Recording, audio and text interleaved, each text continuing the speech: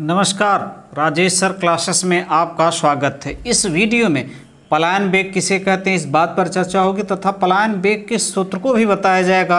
और पृथ्वी पर किसी वस्तु का पलायन बेग कितना होता है तो देखिए पलायन बेग, जिसे अंग्रेज़ी में इसके वेलोसिटी कहते हैं। जब किसी वस्तु को पृथ्वी के तल से फेंका जाता है तो वह पृथ्वी के गुरुत्वाकर्षण, पृथ्वी के गुरुत्वाकर्षण बल के कारण कुछ ऊंचाई से वापस पृथ्वी पर लौट आती है।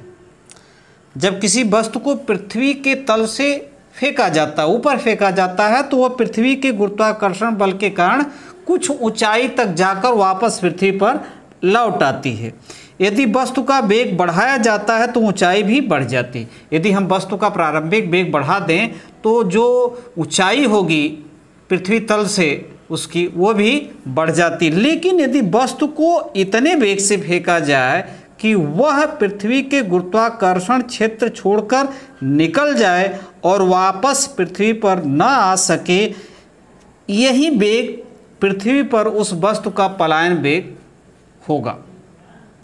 लेकिन यदि वस्तु को इतने वेग से फेंका जाए, यानी वस्तु को इतने वेग से प्रक्षेपित किया जाए, फेंका जाए कि वह पृथ्वी के गुरुत्वाकर्षण क्षेत्र से आकर्षण क्षेत्र छोड़कर निकल जाए, बाहर निकल जाए और वापस पृथ्वी पर न आ सके। यही वेग यही वेग पृथ्वी पर उस वस्तु का क्या कहलाता है? पलायन वेग। तो हम पलायन वेग की परिभाषा इस प्रकार दे सकते हैं। वह न्यूनतम वेग, वह न्यूनतम वेग, जिससे किसी वस्तु को पृथ्वी से फेंकने पर वह पृथ्वी के गुरुत्वाकर्षण क्षेत्र छोड़कर बाहर चला जाता है तथा पुनः पृथ्वी पर वापस नहीं लौटता है, पलायन वेग कहलाता है। वह न्यूनतम वेग जिससे किसी वस्तु को पृथ्वी से फेंकने पर, प्रक्षेपित करने पर पृथ्वी के गुरुत्वाकर्षण क्षेत्र छोड़कर बाहर चला जाता है, यानी गुरुत्वाकर्षण क्षेत्र के बाहर चला जाता है तथा पुनः पृथ्वी पर वापस नहीं लौटता है, पलायन वेग कहलाता है। यह तो हुआ पृथ्वी के लिए, लेकिन अन्य ग्रहों के लिए भी इसी प्रकार का पलायन वेग होता है। अब देखिए, पलायन वेग का सूत्र पृथ्वी के संदर्भ में। तो पलायन वेग का जो सूत्र होता है, पलायन वेग को हम वी ई से प्रदर्शित करते पलायन वेग को किससे वी ई से प्रदर्शित। क्योंकि ई मान इसके वेलासिटी तो पलायन वेग का जो सूत्र होता है वी ई बराबर under root two g R e g क्या है? गुरुत्वीय त्वरण। जी क्या है? गुरुत्वीय गुरुत्वीय त्वरण।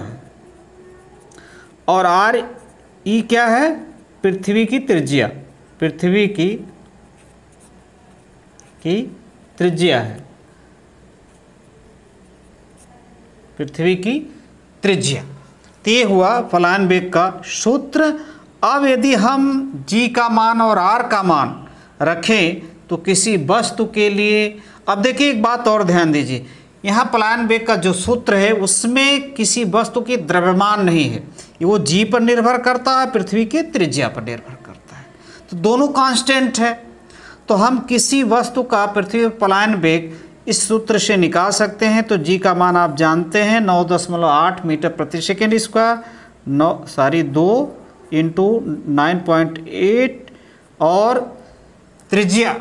9.8 मीटर प्रति सेकेंड स्क्वायर। और पृथ्वी की त्रिज्या जो होती है छः दशमलव चार गुड़े दस घाते छ मीटर। और इसको यदि हम सरल करेंगे, इसको यदि हम सरल करेंगे तो ये आ जाएगा ग्यारह दशमलव दो गुड़े दस घाते तीन मीटर मीटर प्रति सेकेंड, मीटर प्रति सेकेंड। और इसको हम किमी में बदलेंगे तो ग्यारह दशमलव दो किमी प्रति सेकेंड। कहने का अर्थ है, यदि किसी वस्तु को हम पृथ्वी तल से फेंकें, प्रक्षेपित करें, और उसका वेग कितना हो ग्यारह दशमलव दो किमी प्रति सेकेंड है तो वह गुरु, पृथ्वी के गुरुत्वाकर्षण क्षेत्र को छोड़कर बाहर चला जाएगा और वापस पृथ्वी पर कभी वापस नहीं आएगा। नमस्कार।